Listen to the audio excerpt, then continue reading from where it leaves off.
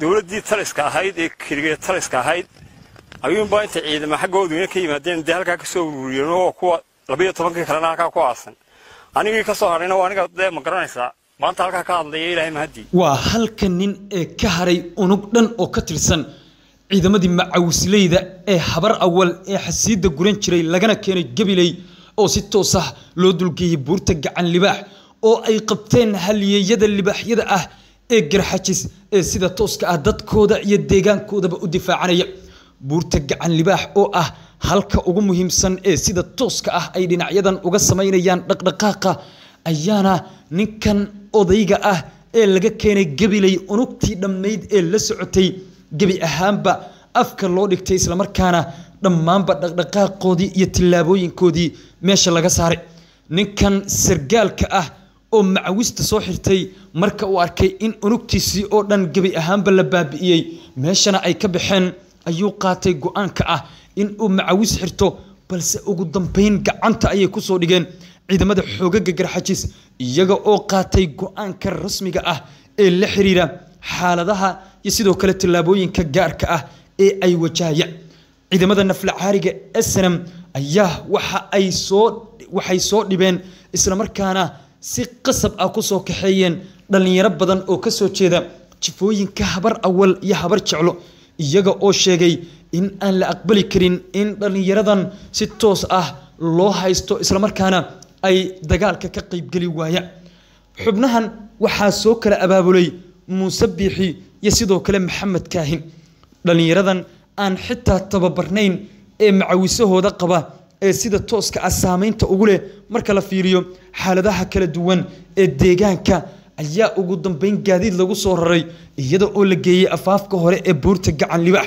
waxaase laga dhigay askaaxda waa la baabi'iyey waa la burburiyey. Waxaa meesha laga saaray dhammaan dhaqamadoodii iyo tillaabooyinkoodii waxayna u muuqdaan in ay yihiin kuwo aan garanayn wax tillaabo ah oo ay qaadi karaan. Muuse biixi cabdi waxaa hadda uu ka war helay in la soo bandhigay xubno maxaabiis ah oo habar awal ah kuwaas oo sheeganaya in dhammaanba ciidankii la socday ay baabi'een in dhammaan ciidamadii qeybta ay ka ahaayeen ay burbureen iyo in aysan jirin ciidan dambe oo la isku halleeyo oo halkaas ka sii shaqeeya ama dagaalka ka sii qeyb noqda. Nafla caariga snam xaaladiis waxay u muuqataa inay tahay tallaabo iyo sidoo kale go'aano aan u muuqan inay yihiin kuwo meesha soo bandhigaya jabka xoogga leh ee soo gaaray. In ciidamadii dhammaanba dhallinyaradii la geeyey halkaas la baabi'iyo islamarkaana laga reebo halkan nin ee macawista ku dhuumanaya waxa ay nabar ku tahay muuse biixi cabdi oo caruurtan soo qalday markii hore islamarkaana u sheegay ama ka dalbaday in ay dagaalamaan. Ninkan waxa uu ku ooyayaa islamarkaana sheegayaa in la bahdilay ay dhiban yihiin aysan helin hubkii ay u baahnaayeen si ay u dagaalgalaan waxa uu sheegayaa in lagu soo raray gaadiid caadiya oo kuwa shacabka ah lagu daadiyey meel aan sidaas uga fogeyn buurta islamarkaana qoryo yaryar oo a k ka ah ee fudfudud la siiyey. Waxa uu sheegayaa xitaa ciidamadan la keenay oo ku dhowaa soddon askari in hal bkm aysa helin oo dhammaantood la siiyey qoryahan fudud ayna madaxa isgeliyeen xoogo ka tirsan ciidamada awoodda leh ee garxajis ee ku sugan deegaankooda iyo dhulkooda kuwaas oo gebi ahaanba mariyey meesha ka saaray baabi'iyey isku daygoodiina niyad jabiyey oo burburiyey. Taasoo muujinaysa in xaaladdu ay ku sii adkaanayso nafla caarigan islamarkaana ay tahay xaaladoodu mid aan waxba laga qaban karin. Culaysyada iyo caqabadaha gaarka ay wajahayaan ayaa waxay yihiin kuwo uga sii daraya marka la fiiriyo dhankaas iyo nidaamka nafla caariga waxayna u muuqataa inay tahay mid soo bandhigaysa islamarkaana si toos ah bannaanka u soo dhigaysa go'aanka rasmiga ah ee dhinacyada ay qaadanayaan iyo sidoo kale tillaabooyinkooda kale ee la xiriira xaaladaha. Nidaamka nafla caariga hesanam ee muuse biixi uu hogaamiyo waxa uu jajabiyey burburiyey islamarkaana meeshii ugu hooseysay liidnaansho gaarsiiyey jifooyinka habar awal iyo habar jeclo. Si gaar ah waxaaba la bahdilay la baabi'iyey caruurtoodii laga dhigay xaabo dabka lagu shubto habar jeclo oo iyadu noqotay cagadhaqe iyo sidoo kale kabaqaad muuse biixi iyo jifadiisu ay leedahay. Habar jeclo waxayba u aaminsan tahay ama habar awal waxay habar jeclo u qabtaa inayba yihiin askar iyaga loo sameeyey. Waardiyaal xafiisyadoodu ay leeyihiin kabaqaad kabaha ka dabawada iyo kuwo cunada uga kariya xafiisyadooda. Waxaana wiilka dhallinyarada ah ee habar awal uusan marnababa aaminayn in habar jeclo ay tahay jife isaaq ka tirsan nidaamka snm wax kale oo xaq u leh in deegaanka iyo sidoo kale qaab dhismeedkiisa siyaasadeed iyo nidaamba ay qayb ka noqdaan.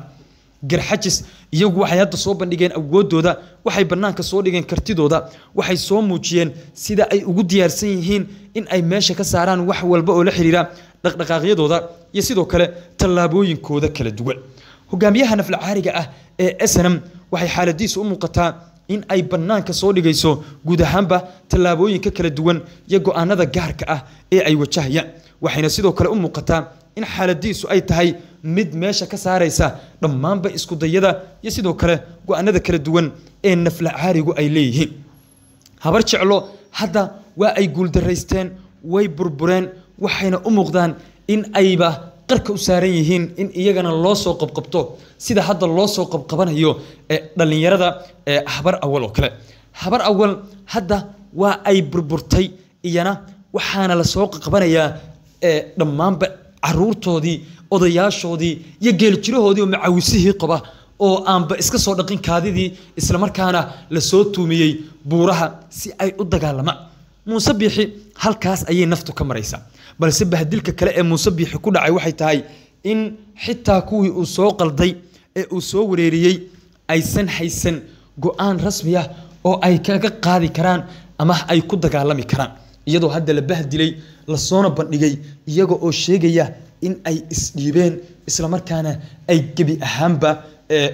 isaga tegayaan meelaha ay ku sugan yihiin. Ninkan waxa uu ka dalbanayaa garxajis in ay yihiin boqortooyadii salaadiintii aqoon-yahankii iyo hogaamiyaashii weligood la yaqaanay ee isaaq. Wuxuuna leeyahay walaalayaal ha idilinina waa la isoo qalday inkaar qaba muuse biixi la dhaha isoo qalday balaayu faraha ii geliyey dagaal ana aqoona madaxa ii geliyey xitaa wuxuu leeyahay beeraley baan iska ahaa ninkaana isoo waalay. Balse waxaa la ogyahay in qaab qabiilaysan ninkan loo soo abaabulay uu ka mid ahaaba ninka ugu waaweyn dhallinyaradan qaabka qabiil maskaxda looga dhacay oo muujinaysay sida ay xaaladdu ugu muuqatay in ay u sii xumaanayso naflacaariga snam xaaladoodu waxay ahayd mid ka sii daraysa mid waa hadda sii taagan iyo sidoo kale mid u muuqata inay tahay tii bannaanka soo dhigi lahayd caqabadaha iyo culaysyada gaarka ah ee ay wajahayaan naflacaarigu hadda way guuldaraysteen way baabi'een way burbureen si walba ayay u liitaan xaalad walba ayay madaxa kula jiraan waxayna u muuqdaan in gebi ahaanba ay yihiin kuwo aan marnaba heli karin saami rasmiya iyo sidoo kale wax muujinaya in nidaamkoodu uu sii shaqayn karo. Naflacaariga snam xaaladoodu hadda waxay maraysaa halkii ugu dambeeyey meeshii ugu hooseysay iyo sidoo kale halkii ugu liitay taasoo ka dhigan in ay burbureen baabi'een wax dambe oo wanaaga oo laga sugayana aysan jirin. Muuse bixi iyo xulafadiisuna hadda meesha ugu hooseysay iyo sagxadda ayay marayaan. Warqaba t v ayaan idiin soo gudbin doonaa. Waxyaabaha soo kordha iyo sidoo kale culeysyada hargeysa caawa ka taagan